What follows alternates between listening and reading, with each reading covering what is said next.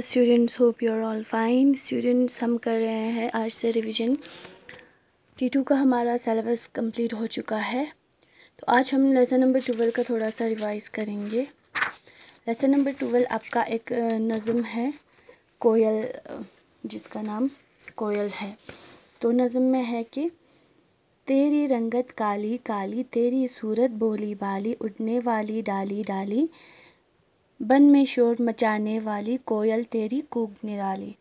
तेरी रंगत काली काली, ये सब कोयल यानी कि एक बर्ड होता है, जिसका रंग क्या होता है? काली होता है। तो उसको इशारा करते हुए उसको ये सब कह रहे हैं कि तेरी रंगत काली काली, तेरी सूरत बोली बाली, उड़ने वाली डाली डाली। बन में शोर मचाने वाली, बन कहते हैं हम जंगल को, बन में शोर मचाने वाली कोयल तेरी कूक निराली। बाग में तेरी रट कुकू की रट कहता है, हर वक्त एक ही बात कहे जाना, उसे हम कहते हैं रट। बाग में तेरी रट कुकू की, कुकू है कोयल की आवाज़ कैसी होती है? कुकू की। तो वो कह रहे हैं, देती है एक लुत्फ़ अजीब ही, सुनता है जब कूक को तेरी। खुश होता है बाग कमाली कोयल तेरी कूक निराली। तुझको आमों से रगबत है, रगबत कहते हैं हम मोहब्बत को, यानी कि शौक़ को।